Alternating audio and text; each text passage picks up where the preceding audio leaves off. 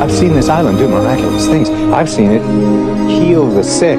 This place